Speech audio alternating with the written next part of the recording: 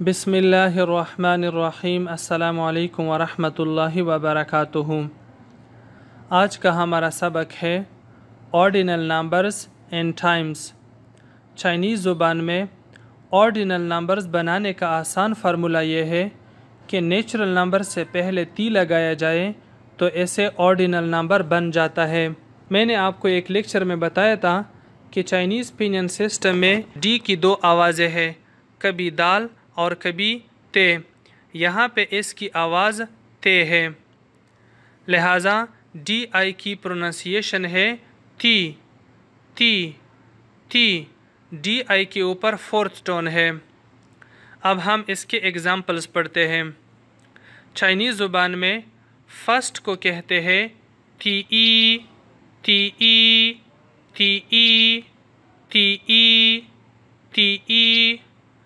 اردو میں فرسٹ کو پہلا، پہلی، پہلے کہتے ہیں۔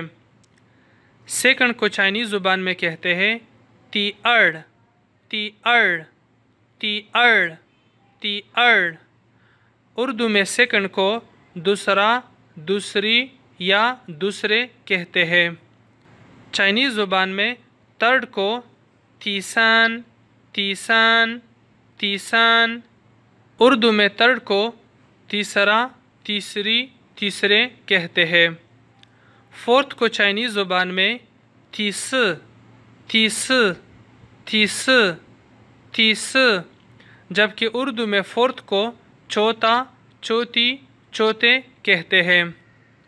چائنیز زبان میں آرڈینل نمبرز بنانا بہت آسان ہے۔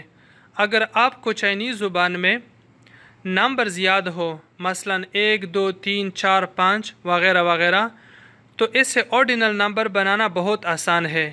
نمبر کے شروع میں تی لگائیں تو ایسے نیچرل نمبر سے آرڈینل نمبر میں بدل جاتا ہے۔ مثلا ففٹینتھ پندرواں پندرہ کو چائنیز زبان میں کہتے ہیں۔ شو شو اب اس سے پہلے تی لگائیں تو یہ بنے گا تی شو تی شو اسی طرح چالیس، چالیسواں، پچاسواں، ساٹھواں سترواں اس قسم کے آرڈینل نمبر بھی بنانا آسان ہے۔ ان سے پہلے تی لگائیں تو نیچرل نمبر سے آرڈینل نمبر بن جائے گا۔ اب ہم ٹائمز کی طرف آتے ہیں۔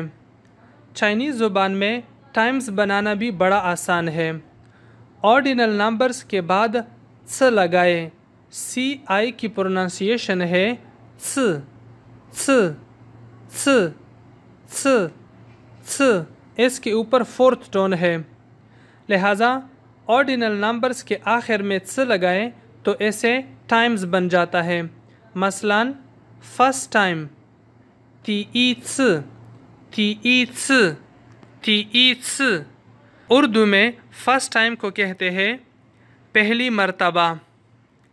سیکنڈ ٹائم کو چائنیز میں کہتے ہیں تی آرٹس تی آرٹس تی آرٹس جبکہ اردو میں سیکنڈ ٹائم کو دوسری مرتبہ کہتے ہیں۔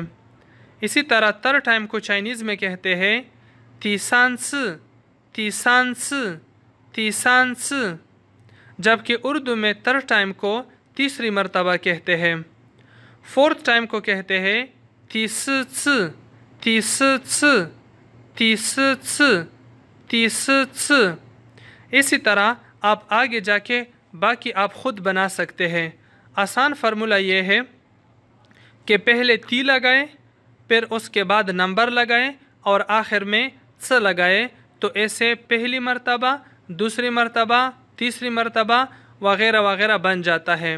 جبکہ آرڈینل نمبر بنانے کا آسان فارمولہ یہ ہے کہ نمبر سے پہلے تی لگائیں تو آپ کا آرڈینل نمبر پہلا، دوسرا، تیسرا وغیرہ بن جاتا ہے۔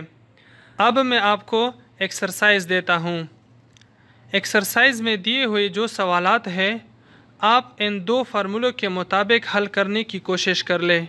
اگر آپ کو چینی زبان میں نمبرز یاد ہو، تو پھر ان سوالات کو حل کرنا آسان ہو جائے گا۔